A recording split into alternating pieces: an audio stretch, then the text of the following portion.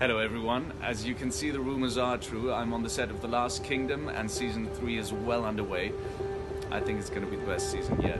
Well guys, Netflix played a significant role in making The Last Kingdom an epic show by providing necessary resources, creative freedom, and a platform to bring the story to life. Here are some ways Netflix contributed to the show's success. The Last Kingdom book series for television, Netflix acquired the rights to the book written by Bernard Cornwell and took on the responsibility of bringing the story to life on the small screen. To make this happen, Netflix put together a talented production team consisting of writers and directors and producers. They worked closely with the author himself to ensure that the adaptation stayed true to the essence of the books, while also providing it, while also making it engaging and captivating for the viewers. The team took the rich source material provided by the books and transformed it into a script that would work well in a television series format. They made decisions on what to include and what to leave out, and how to structure the story to make it compelling for the audience. The collaboration between Netflix, the production team, and Bernard Cornwell helped in creating a seamless transition from page to screen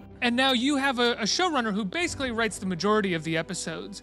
After the first season, does he sort of get together with you and talk about where it's going, where you'd like to, what you'd like well, to play? Well, we, we we have a very good idea of where it's supposed to go because it is based on on a series of books uh, by Bernard Cornwell and obviously we can't always stick to the books because it's it's a different uh, medium and sometimes I, I, see moments in the books that I'm super excited about. This ensured that the fans of the books would recognize the world they fell in love with, of also introducing the story and the characters to a wider audience who may not have read the books. So let's talk about how Netflix increased its budget to make The Last Kingdom an epic show. When Netflix got on board with The Last Kingdom, they brought along a massive bag of gold, which means they had way more money to invest into production and guess what?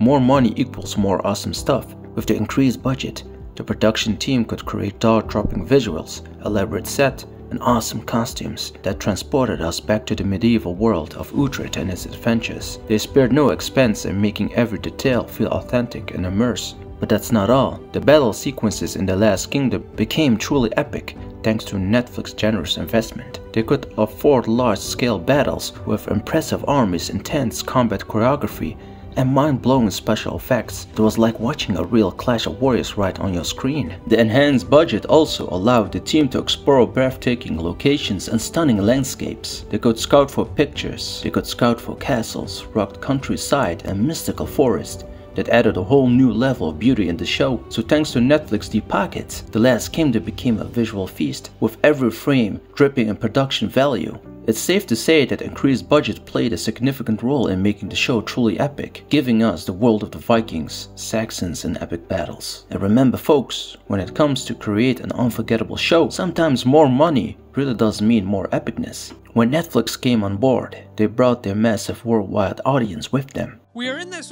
like interesting age of television where The Last Kingdom exists for three seasons on BBC, then BBC Netflix, now Netflix, and it has probably a massive fan base in some ways. But I imagine you yourself as the actor were surprised when you started noticing that there were uh, that it was a fan base because it's not the same as it used to be 20 years ago where if something had a fan base, everybody in the world knew about this thing. Well, there's there's so many shows out there now. And uh, and I think we do it is kind of a niche market. Um, and I think that the fans we have are, are very loyal, you know, and and um, uh, I'm I'm proud of that. I mean, yep, we're talking about millions and millions of viewers from all corners of the globe. And what did that mean for the Last Kingdom? Instant exposure to fans all around the world. Netflix used their marketing magic to spread the word of this epic show. They unleashed a whirlwind of promotion campaigns, trailers, and teasers across their platform and various social media channels. They knew how to grab our attention and make us crave more. But it doesn't stop there. Netflix's global presence meant that The Last Kingdom was available to subscribers in over 190 countries. That's right, no matter where you are in the world, you could join in on Uhtred's adventure and experience the thrill of the show. Thanks to this global reach, The Last Kingdom quickly gained a massive fanbase. People from different cultures and backgrounds fell in love with the characters, the drama, and the historical richness of the series. Fans from all over the world connected discuss theories, and share the excitement, making it a truly global phenomenon. So heads off to Netflix and their strategic marketing efforts. They knew exactly how to make The Last Kingdom accessible to everyone, spreading the epicness far and wide. Whenever you were in London or Tokyo, you could dive into the world of battles, politics, and honor, alongside Uhtred and his companions, Remember folks, when a streaming giant like Netflix puts their marketing muscle behind the show, it becomes a global sensation that unites fans from, from all walks of life. And that's the magic of The Last Kingdom. Now let's talk about creative freedom. When Netflix got involved in The Last Kingdom, they gave the show creators the ultimate gift, creative freedom.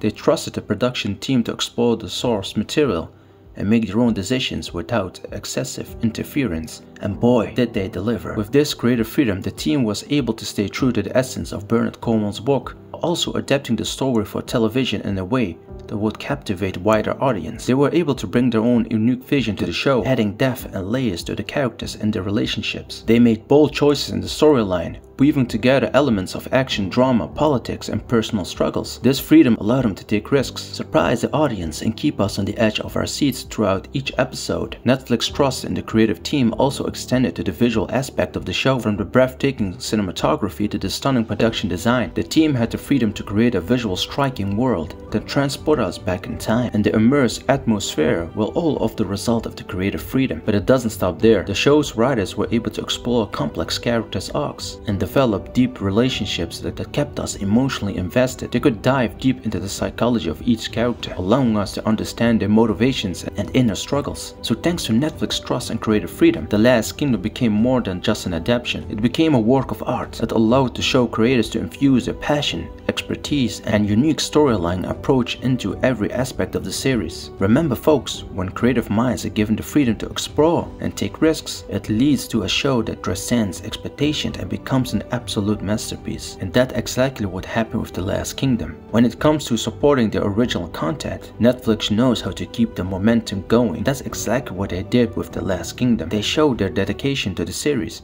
by renewing it for multiple reasons, much to the delight of the fans worldwide.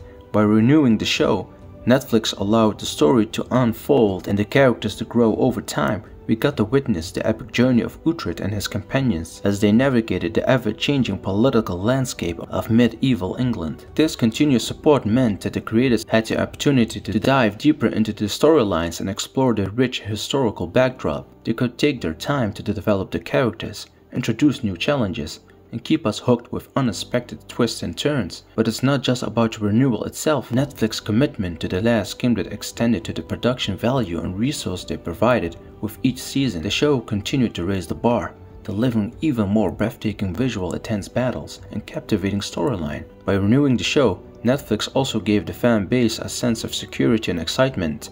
We knew what we could look forward to, to more thrilling adventures and epic moments with our beloved characters. The renewal announcement created a buzz and fueled our excitement for what was to come. So heads off to Netflix for their continued support and belief in the world of The Last Kingdom. Their commitment to renewal the show is not only to keep us entertained, but also allowed the series to evolve and become even greater success over time. The Last Kingdom was able to evolve and adapt delivering content that catered to our preference and kept us engaged. It was a win-win situation for both the viewers and the creators, resulting in a show that hit all the right notes. So kudos for Netflix for giving us The Last Kingdom. It was a captivating series we all know and love,